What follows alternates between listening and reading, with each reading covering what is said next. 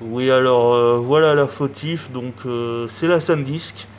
Je te conseille fortement. hein. J'ai toujours eu. Ah, pardon, mon bandana. J'ai toujours eu des soucis avec euh, la SanDisk. Des problèmes d'écriture, des problèmes de protection de vidéo, alors que je lui ai rien demandé. Quand je faisais des vidéos, j'avais le mode blocage dessus. Alors on comprend pas, on sait pas pourquoi.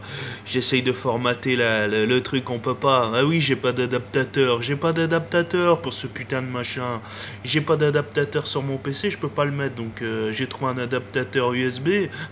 Il est aussi cher qu'une carte SD Samsung Evo 128 Go. Autant que je pars sur la Samsung Evo 128 Go. Tu me prends pour qui? Pourquoi? Pour quand? Donc voilà un petit peu mon historique de, cartes. Je voulais vous en faire part. Sur YouTube également.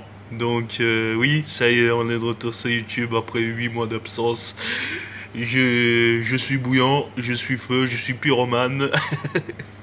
Excusez-moi les gars, faut que j'arrête de m'emporter. Je vous quitte. Donc euh, dès que je reçois ma nouvelle carte euh, micro SD Samsung, je vous en fais part sur YouTube. Je vous dirai mes avis, mon avis, ce que j'en pense, si c'est du stock, si c'est du lourd, si c'est du bon. En tous les cas, SanDisk, c'est non.